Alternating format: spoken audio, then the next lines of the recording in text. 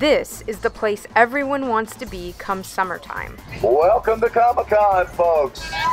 San Diego Comic Con International. Held at the San Diego Convention Center since 1991, Comic Con has become the largest convention of its kind on the planet. It's where you see celebrities shine, where pop culture reigns, and fans will do just about anything to get inside Hall H. Many people say it's the coolest convention in the world. So the guy who manages this event at the convention center, well, he must have the coolest job in the world, right? Who is this superhero behind the superheroes? My name is Tim Pontrelli. I'm a senior event manager. I've worked uh, since 1983 on Comic Con. Most of the, the same people that, that managed it back then, I still work with today. Tim Pontrelli has three decades of Comic Con under his utility belt. Digging through our photo archives, the first pictures we could find are from the Comic Con convention in 1992. The big star at that event, Mr. T. And the costumes weren't quite what you find today.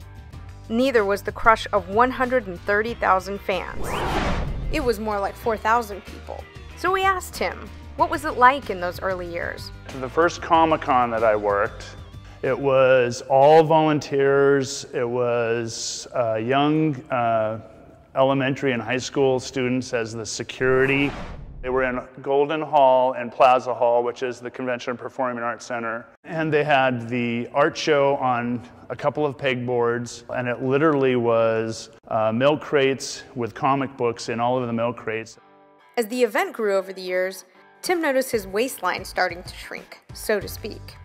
At one point, when it was just me doing it in the early 2000s, I would lose about 15 pounds. And I was walking probably anywhere from 15 to 20 miles a day come in at four in the morning every morning and be walking at that point, just trying to get lines in, in control, uh, making sure everyone's doing what they're supposed to be doing. And that would be nonstop until I'd leave that evening.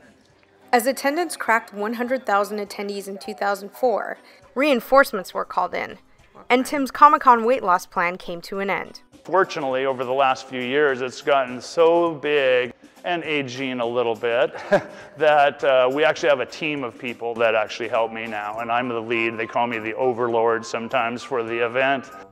Comic Con is so big, it spills into the city and is one of San Diego's top economic generators.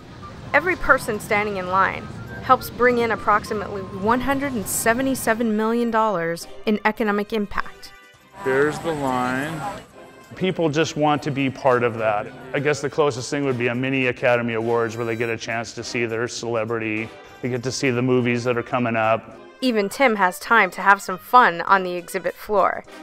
And he's a self proclaimed fan of The Big Bang Theory. But as the superhero behind the show, there's no time to be starstruck. His main concern is keeping the show running smoothly and ensuring the safety and security of attendees. It is by far and away the comic book convention or Comic Con in the world. There are a lot of imitators. It is the original, and it truly has grown up in San Diego. And it's truly the, the one that everyone wants to see. It's the bucket list uh, convention that people want to come to. And thanks to Tim's superhuman powers, San Diego Comic Con International will continue to bring thrills and chills to more than 130,000 fans.